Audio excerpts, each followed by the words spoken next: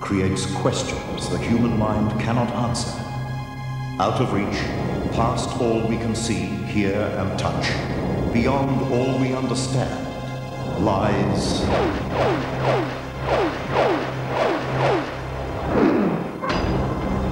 the extraordinary. The extraordinary is the bewildering phenomena of spontaneous combustion, cases from around the world where people have simply burst into flames. It was as if I stepped into Dante's Inferno. What I was looking at was impossible as far as I was concerned, but I had to accept the facts as I saw them. And I was looking at a pile of ashes on the living room carpet in a small, enclosed council house. And those ashes were the remains of a man. All that was left apart from that was the unburnt feet and the blackened skull.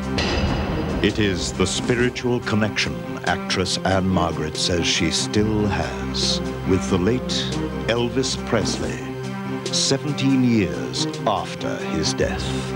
We moved so much alike. We would harmonize all the time, have, have, have fun. When we started rehearsing some of the dances, he'd look at me, he says, I don't believe this. So many things were the same. It is the unidentified flying object that followed this family for four hours. A strange, bright light in the sky. I was just terrified, literally petrified. I thought, I honestly thought this is it, this thing's going to land. And it seemed to be sort of darting around everywhere coming in closer, going out a bit. Then it came over the top of us as we were driving. Was it a planet, as one expert suggests? If you look at a bright light in the night sky long enough, um, your own eye starts to move and it creates a sort of false impression of movement. Or was it something else? It wasn't a helicopter because a helicopter wouldn't stay stationary for so long. And it wasn't an aeroplane, it had no flashing lights. But UFO researchers have no doubt about this sighting. They say it's one of the most compelling ever recorded. Like a big bell, a heavy, dark, very dark object, a bell. And um, while we're looking at it, suddenly it wasn't as if there was one object, there was maybe two or three objects. Just some of the stories that lie beyond our normal understanding. Tonight on The Extraordinary. More on that remarkable story later. Good evening. I'm Warwick Moss. There have been reports of spontaneous human combustion for decades. It is a phenomenon that the medical world cannot explain, and one that leaves the rest of us bewildered and more than a little scared. It's an event that takes place without warning, where people suddenly burst into flames and die. If it weren't for the photographic evidence of so many cases, it would be easily dismissed as a figment of the imagination. The most recent example is this amazing story from Alison Holloway in London.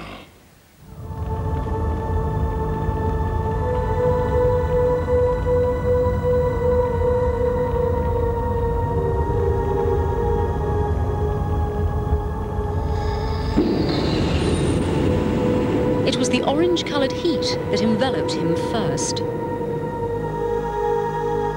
A sticky, choking humidity that wrapped around the policeman and everything else in the room where Henry Thomas had died. Outside, in the rolling hills near the village of Ebbw Vale, the Wales countryside was chilled by winter in January. But in here, the hot air clawed at his lungs. I opened the door and stepped in, and it was as if I stepped into Dante's Inferno. As if that's what struck me immediately. I entered the room. There was this hellish sort of orangey red glow, and the room was literally steaming. It was humid. The heat was radiating from the walls, and it was very dark, apart from this reddish glow. The policeman was John Heymer, a special crime scene officer with the Gwent Constabulary, and he'd been called to the house of a local resident, Henry Thomas, after a report of a house on fire. I've been a policeman for 24 years, and uh, for the last few years I was a scenes of crime officer, which meant that I attended every serious crime, death, suicide, whatever. And I photographed the scene, looked for fingerprints and forensic evidence, which was then passed on to the forensic scientists to examine. So I'd seen quite a lot of horrible deaths, you know, pilots burned to death in light aircraft crashes and bodies been in rivers for months, whatever. And uh, you get used to this thing, and I was pretty hardened. But nothing had prepared Heymer for what he saw in this room. 73-year-old Henry Thomas had turned to ashes, burned to a crisp from the inside out, like 200 other recorded cases. It's called spontaneous human combustion, in police lingo, human candles. Charles Dickens, in his book Bleak House, had described the exact scene John Heymer witnessed this day. There is a suffocating vapour in the room. The burning smell is there, and the soot is there, and he is not there.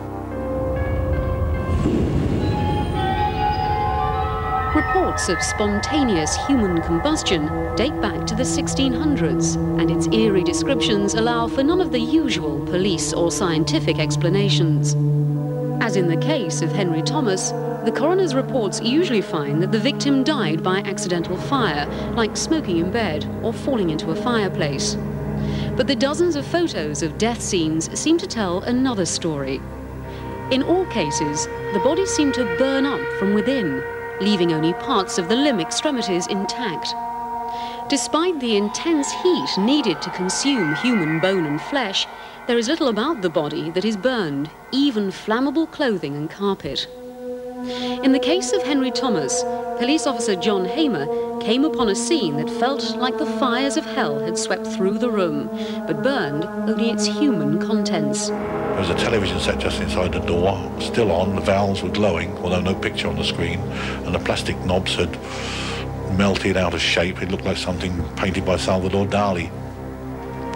Then looking to the right, I saw a pile of ashes, and protruding from the end of the ashes was a pair of human feet clothed in socks and with just a lower few inches of trouser legs attached to them. I just couldn't believe it. It took me a few minutes to realise what I was actually looking at. What I was looking at was impossible as far as I was concerned, but I had to accept the facts as I saw them. And I was looking at a pile of ashes on the living room carpet in a small, enclosed council house. And those ashes were the remains of a man all that was left apart from that was the unburnt feet and the blackened skull. Since Thomas's death and the publicity that followed, Officer Heymer has tracked down or been told about at least five other human candles in Britain. All of those five cases, four of them, the verdict was death by burning, and one of them, a tramp in London who was discovered face down on the first floor landing of a derelict building. The fireman broke in and found him with blue flames issuing at force from his abdomen. He was burning the landing, not the other way around. Jenny Randles, who co-authored the book Spontaneous Human Combustion, among other paranormal subjects, says the scientific world has been stumped by the evidence of such cases.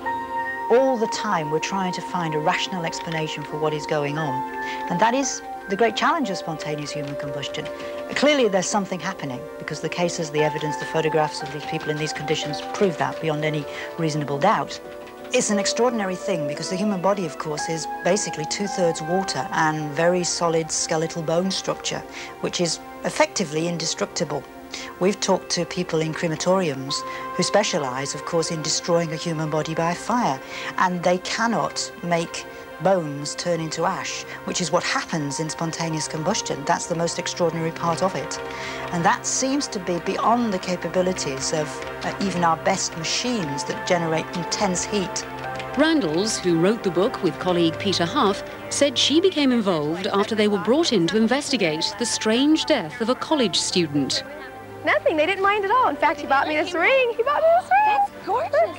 A teenage girl was walking down the stairs at college, happily chatting to her friends in the middle of the morning, when out of nowhere she burst into flames.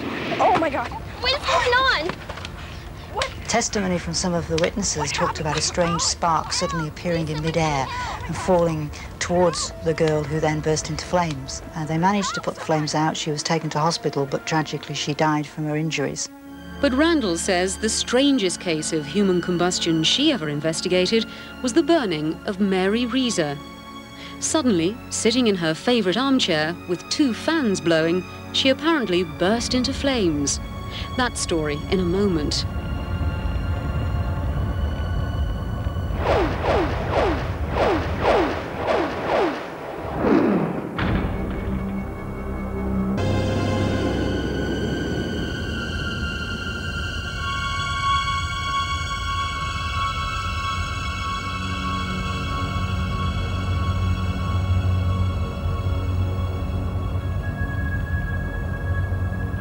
Of all the cases of spontaneous human combustion investigated by Jenny Randles, co-author of the book Spontaneous Human Combustion, none was quite so mystifying as the death of a woman named Mary Reeser.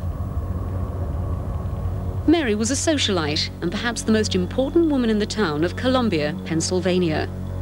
But after her husband's death, she moved to Florida. Mom, welcome to Florida. Oh, Great to have you it's home, I tell you. great here. Oh, we're Yeah. gonna have so much fun. This is wonderful. I tell you. I miss too you. long.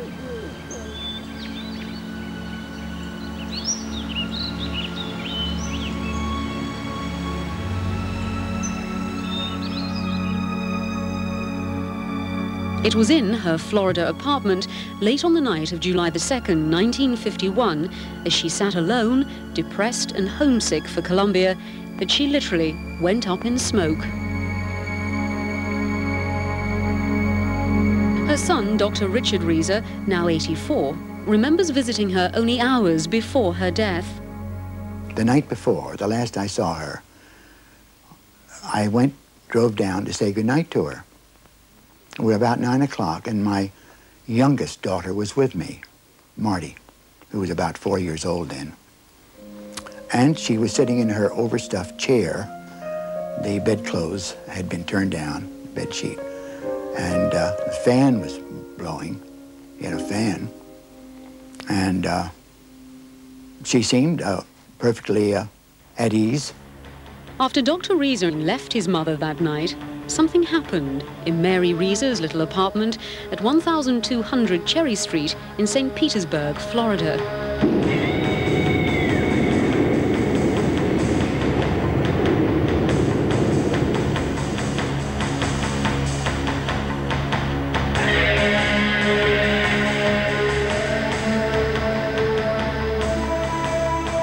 Nobody will ever know exactly why it happened. But when firefighters broke through the door the next morning, Mary at first seemed to be missing. The air in the room was a thick, grey haze. The carpet beneath their feet had a sinister and somewhat nauseating stickiness. The ceiling and one of the walls were black with soot, but had not been burned. A body-sized patch of carpeting had been scorched down to the cement floor. And in the centre of the exposed cement, a modest pile of black ashes. The last remains of Mary Reeser.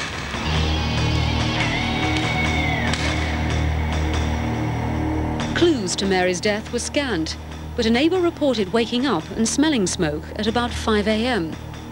When she retrieved her morning paper at 9 o'clock, the smell had gone. It was about 8 a.m. that a Western Union delivery boy came with a telegram from friends back in Columbia saying they had found her a long-awaited apartment back in her hometown. She had, wanted to return to Columbia for the summer and stay with friends and renew old acquaintances. And it's, it's uh, strange, very strange, that uh, this whole episode was found uh, by a telegram boy knocking on the door, or uh, the morning she was found, with a telegram stating that from her friend in Columbia that uh, she was to come up there. Very strange. The delivery boy said when he tried the doorknob of Mary's apartment, it was too hot to touch, an indication of some intense heat being generated from inside. The investigation found that Mary had perished sometime between dawn and 9 a.m. The media of the day went crazy with the story. And though the official cause of death was accidental burning, possibly from a cigarette, there are many who are convinced the spark that consumed Mary Reeser came from something within.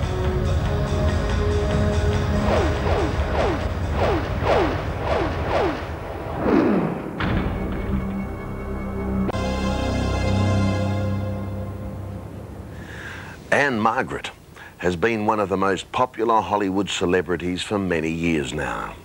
She's starred with Jack Nicholson, Elvis Presley, and a long list of Hollywood's most famous. Her success, she says, is determined by a very special ritual taught to her by her mother a long time ago.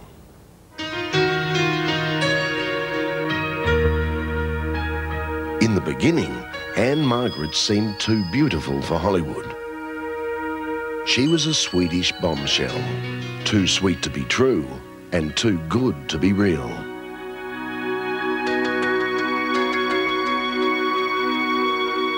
Behind the public sex kitten was a shy, private young woman with old-fashioned values. I believe in dignity, I believe in honor, I believe in uh,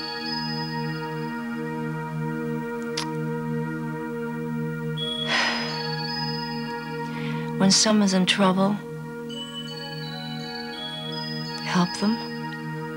If someone's speaking ill of someone, I get right in there because I won't allow it.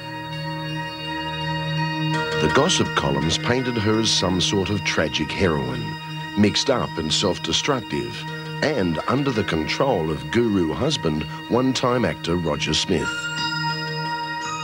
Through it all, she starred in Bye Bye Birdie, played opposite Elvis Presley in Viva Las Vegas, Jack Nicholson in Carnal Knowledge, and Roger Daltrey in the movie Tommy. When we talked to Ann-Margret recently, she recalled the reports of her recovery from alcohol abuse and the accident that suddenly brought her down to earth. Rehearsing in Las Vegas in 1972, she fell almost eight metres from a stage scaffolding, nearly ending her life and career. Anything but love, baby. She recorded the ups and downs of her life in her recent book, My Story. Baby, dream of what? I was spared any fear because it happened so fast. The 22 feet, uh, all I remember, and I, I was in a, there was a bar here too, but it, it just whipped over just like that. It was a near fatal incident that was complicated further by her husband Roger's battle with a disease called myasthenia gravis.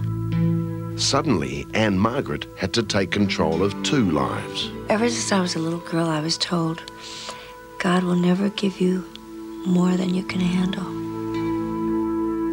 She grew up in a small Swedish town and learned the rules long ago forgotten in Hollywood. Swedish Stoicism. I learned that, I think, before I was born. um, one doesn't, this is a crazy industry for me to be in because one doesn't talk about oneself.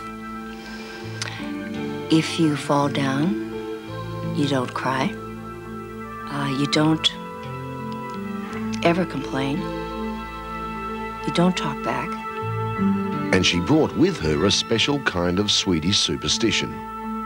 The thing that I get really crazy, ever since I was four years old, if I was going to do like a reading or a, sing a little song or something, and all through, if my mother did not give me three Swedish good luck kicks, every time she's in the audience when I'm performing, all of a sudden I'll remember, oh my goodness, Ellen, do you think you can get mom out of the audience? I, she didn't give me my, my Swedish good luck kicks.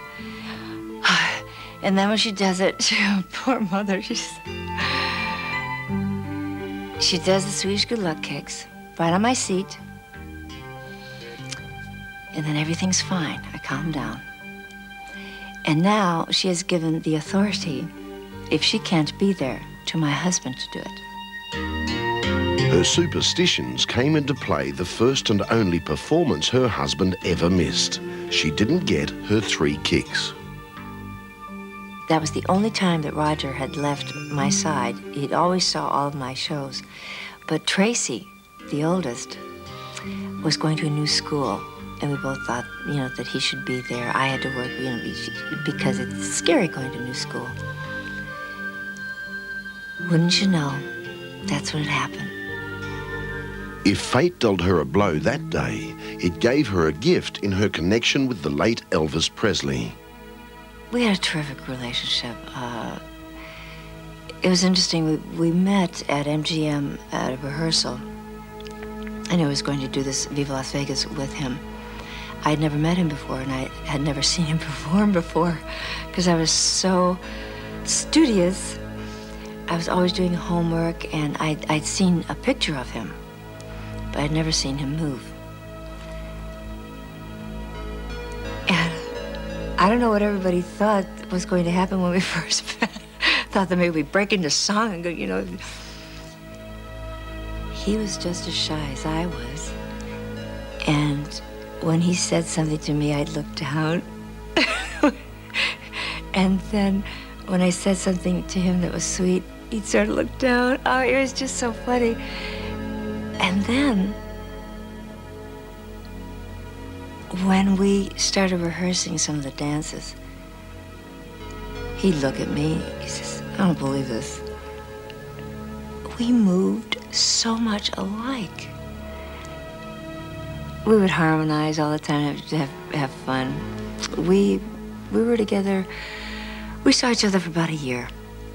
Uh, we were the only, both only children We respected our parents greatly, always stood up when an older person walked into the room. Manners.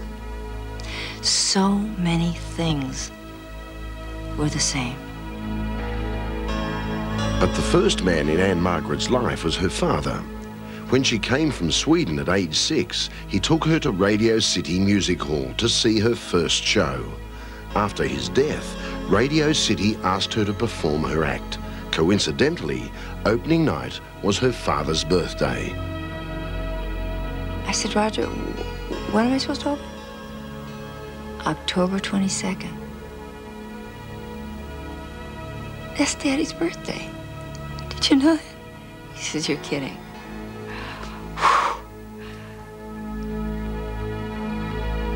I did it. I did it. Because I knew he was watching, boy. And Mom was like in the, um, the second row there, right in the middle.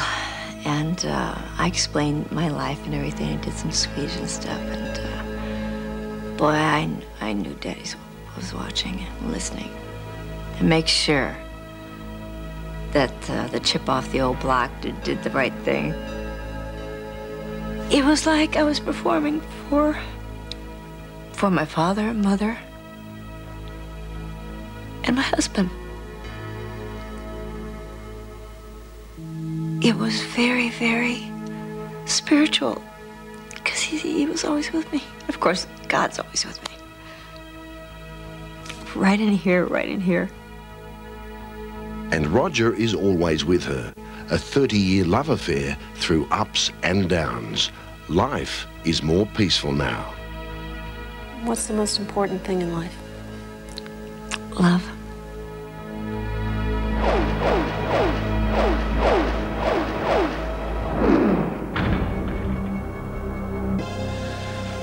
In the early 1990s, a strange thing happened on the densely populated eastern coast of Australia. A couple were travelling by car north of Sydney. They'd done the journey many times before. But on this night, something unexplained happened. Susan and Vardik say they were followed for four hours by a UFO.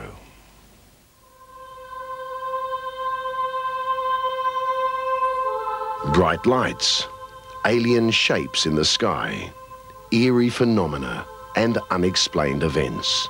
They're all part of the mystery of UFOs, unidentified flying objects.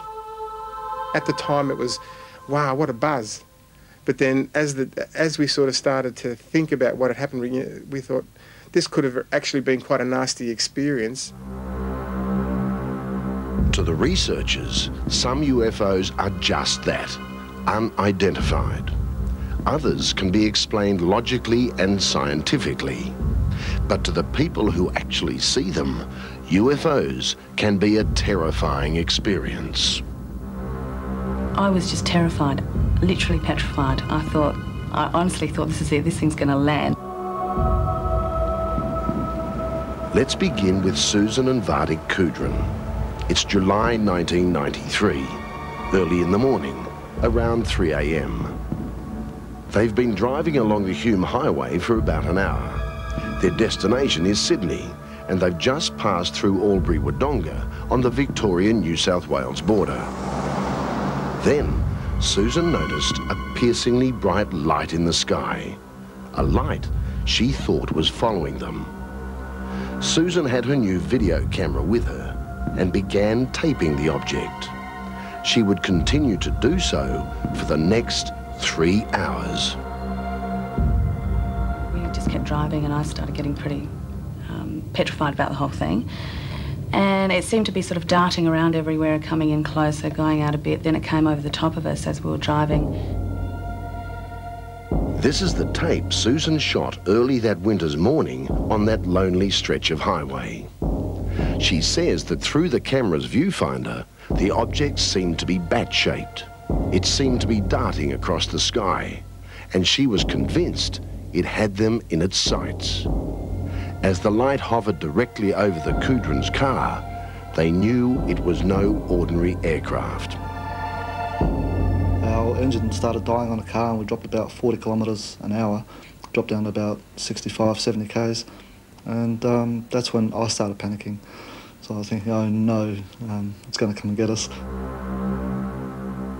He was extremely nervous. Uh, when he gets nervous, he goes very, very quiet and very calm, and he says, don't worry about it, it's nothing to panic about, we'll be in Gundagai shortly. Several times, Vardik put his foot down. Several times, nothing happened. No response from the engine. Then, suddenly, the car accelerated. Everything was back to normal, except for one thing. That bright light was still there. And it stayed with them as they drove on, right into the town of Gundagai, where they stopped to buy food. I found it again on top of the hill, and I said to Vardik, it's still there. Um, it's just like it was waiting up on top of the hill for us to finish. But it was extremely bright. It was um, a lot better, even filming it, a lot better picture of it sitting up there. It was just there, just sitting on top of the hill, just waiting or watching, Susan and Vardik say they were nervous, embarrassed, so they didn't mention the light to anyone in Gundagai. They set out again on their journey towards Sydney, and for two hours, the mysterious light kept pace with them, and Susan taped it. As dawn broke, it was still there, still shining in the sky. And it was at that time that the thing started to um, turn around. It was almost like it was folding back on itself so that we could see the back of it, uh, like a tailish sort of um, figure, and fan-like in its appearance. And it darted around and did all these sorts of things with the uh, back towards us, and then would zoom off, and then would come back again, do the same thing again, zoom off and come back again. And by that time, I was sort of really, wow, this is really incredible, and more interested in the fact that we we're probably experiencing something that um, not many people get to see. We could see it in broad daylight near the end. You could see the sun coming up. All the other stars have gone, and there's still this one bright object in the sky. And it just disappeared. It just vanished. Their travelling companion was gone, but the Kudrins would not forget their strange encounter. First, there was the tape, proof to them that they hadn't imagined the whole thing. When we got back and looked at the tape, it was I was astounded at what Sue taped. I just I couldn't believe my eyes. I just didn't think there was anything like that out there. All I could see was the bright light, And it was just fascinating to watch the tape that Susan had taken, what she had seen. And now I know why she was so amazed and excited about what she was taping. Then, about nine months later, there was to be a second sighting, just as clear as the first. It would absolutely convince the Kudrins that they had been allowed a rare and wonderful glimpse of the unknown. Susan comes home from work and says, it's out there again. And I said, oh no, is it? She goes, yeah, it is. Get the video camera out. And I said, the battery wasn't charged. So um, I put the battery on charge for about half an hour just to get enough power in it so we can view it again. This time, Vardik taped the object. It was identical to the one he'd seen on the original video. Bat-shaped, pulsating, and moving across the sky. I went through the same emotions again. Um, I was scared, what's it doing back? And then, what's it doing? That's what I wanted to know, what's it after? And then it disappeared again and I still don't know what it's doing. It wasn't a helicopter because a helicopter wouldn't stay stationary for so long. And it wasn't an aeroplane, it had no flashing lights. So it could only boil down to one thing, which was a UFO. Well, was it a UFO? In a moment, we'll put the Kudrin video to the test and investigate another sighting. This one filmed in broad daylight.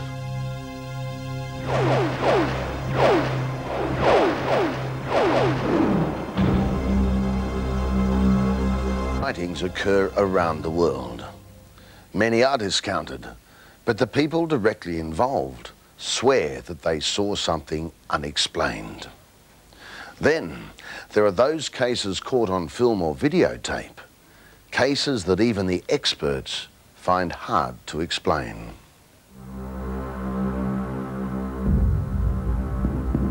A bright light that followed a Victorian couple for three hours as they drove through the Australian bush. A light they're convinced was a UFO. A bat-shaped object that darted across the sky. One they're sure had an unearthly influence on the engine of their car. In an attempt to identify the unidentified, we consulted international UFO researcher Bill Chalker. We showed him the video taken by Susan Kudrin in July 1993 and the interviews we'd recorded with Susan and her husband. After studying the tapes, Bill Chalker first tried to determine why the object seemed to be shaped like a bat. The camera itself has gone to total zoom or to infinity and gone beyond really the limitations of the camera lens system itself and so you've got a, an out of focus image. And um, also the, the internal geometry of the camera showing up. So you have this sort of curious bat shape which has nothing whatsoever to do with the actual shape of the object itself. As for the effect the hovering object appeared to have on the engine of the Kudrin's car, the best Bill Chalker could do was put that down to coincidence and the fact that the vehicle was second-hand. Then there was Susan and Vardick's conviction that the light on more than one occasion dashed across the sky. Bill Chalker concluded that was camera movement. But remember, the Kudrins not only taped the moving object, they say they saw it clearly with their own eyes. If you look at a bright light in the night sky long enough, um, your own eye starts to move and it creates a sort of false impression of movement. Finally, Bill Chalker went to his computer in an attempt to track down the mysterious object. He plotted the date, the time and the location of the sighting. The position of Venus at that time was coincident with, with, with the general direction that they were filming in. There's also a section of the video that shows it um, more or less uh, with uh, the dawn arriving and, uh, and that's the clearest sort of impression that you get that it is Venus that you're actually videoing there. There's little doubt at that point that uh, they're still filming Venus and to them uh, it was still the same object that they were looking at. So, according to the expert, what the Kudrin saw and taped was apparently the planet Venus. That's not to say that there aren't legitimate uh, videos and films out there. We've investigated over the years um, a number of cases where, despite uh, extensive investigation, these films have remained unexplained uh, and, and the, the, events themselves remain un unexplained. And that's certainly the case with this remarkable sighting. A sighting that after almost 20 years remains a mystery even to the experts. It began as thousands of Australians were preparing to view one of the solar system's great spectacles, an eclipse of the sun. Among them, Nick Flaskas. Being a, a, keen amateur astronomer for many years, this was an opportunity in order to see some, a very rare event. So early on the morning of October the 23rd, 1976, Nick set out with his best friend, Frank Sanaras, and Frank's younger brother, Billy. They were bound for Ben Boyd National Park, near Eden on the New South Wales south coast. It was the perfect place to study and film the eclipse. We had two cameras. We had a Super 8 uh, camera which had never been used before. This was the very first time that Frank was using this film and camera. And we had a 35 millimeter standard uh, camera as well. They may have been amateurs, but they were well prepared. Frank had bought special night film for his new movie camera film that would be able to cope with the dramatic changes in light as the sun disappeared. Nick and Frank set up their equipment and explained once more to Billy that he'd damage his eyes if he looked directly at the sun during the eclipse. Basically, because I couldn't look at the eclipse, and uh, what I did was I turned around and looked out over the ocean, and as I looked out over the ocean, I saw the, uh, the these cloud cigar-shaped uh, figures. So we looked at them and thought, well, that's interesting. There was a kind of like a big bell, a heavy, dark, very dark object, a bell. And um, while we're looking at it, suddenly it wasn't as if there was one object, there was maybe two or three objects. For a moment, the boys were stunned. Behind them, their cameras were set to film the eclipse. But in front of them, out over the ocean, there was something else. Something far more fascinating. Mysterious objects that had captured their imagination. At that point, Nicholas and I said, yeah, let's go. So we turned the cameras around, and I said to Nick, I will never focus back on the sun again. He said, oh, it doesn't matter because this is more important. First, they tried Nick's 35mm stills camera, but it was useless. So they concentrated on the Super 8. They were sure that with its zoom lens, they'd have more chance of success.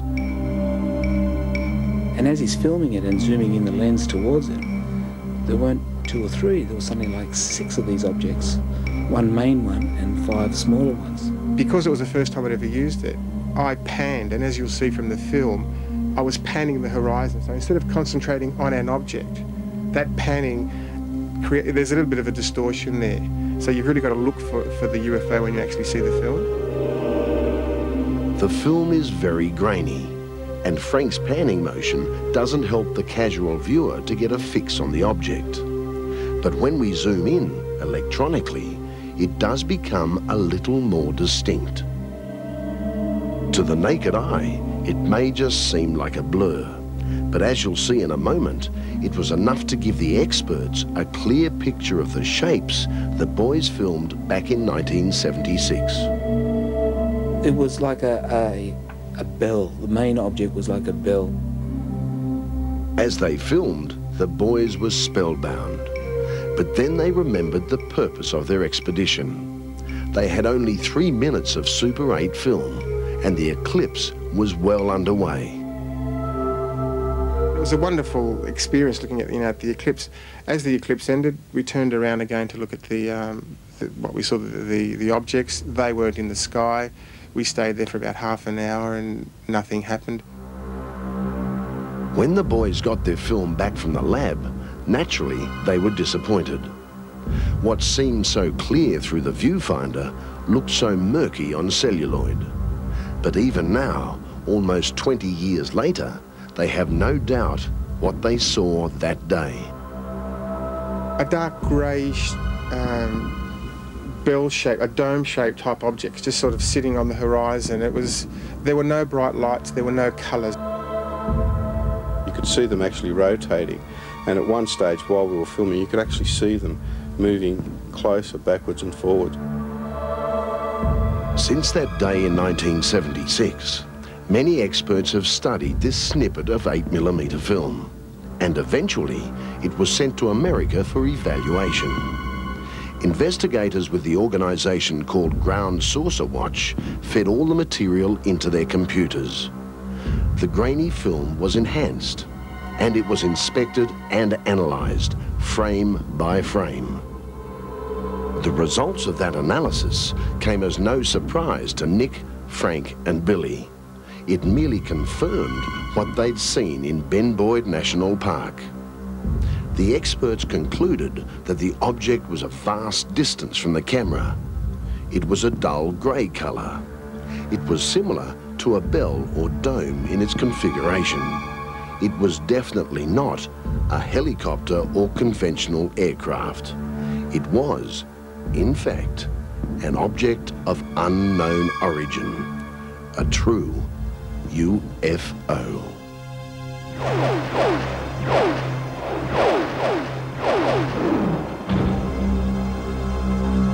International actor Roger Moore knows what it is like to die. To this day, he swears he once left his body and found himself looking down on the scene he was playing with Lana Turner. I have to hold my breath. I hold my and the directors, the director David Miller got Ave Maria playing. And I swear I left my body.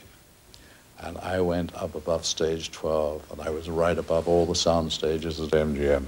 And I was up there in the clouds looking down. Roger Moore, an untold story. Next time. Roger Moore, and a story not to be missed.